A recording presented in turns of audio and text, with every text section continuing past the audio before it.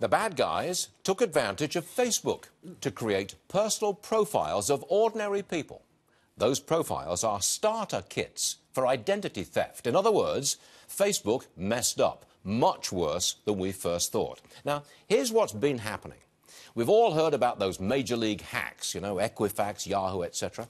Criminals stole your information and they put it up for sale on this thing, the dark web. Another bunch of bad guys bought that information and fed it into Facebook's search box.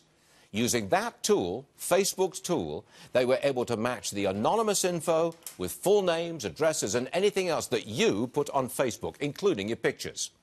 That amounts to a very full and complex profile of you, sometimes to be used for malicious purposes like identity theft. Facebook, therefore, has been instrumental in letting the bad guys exploit your information.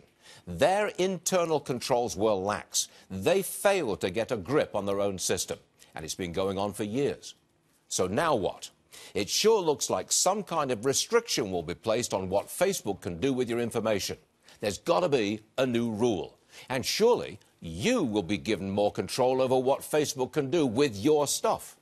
It's a very big deal because it's going to shake up the entire data mining industry, the info collectors and the info miners. Which brings us to Mark Zuckerberg, Facebook founder. He faces the politicians next Wednesday. They will be grandstanding, showing voters they care.